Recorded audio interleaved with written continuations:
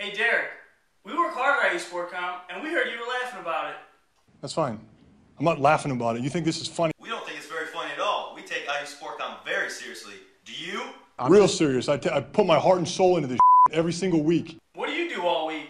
Just telling you right now what I do every single week. Every single week, I put my freaking heart and soul into this. I study my ass off. I don't go out there and laugh. It's not funny. It's not fun. Nothing's funny to me. You want funny? I got a joke for you, Derek. I'm done. IUSportcom.com is as serious about IU sports as Derek Anderson is in general.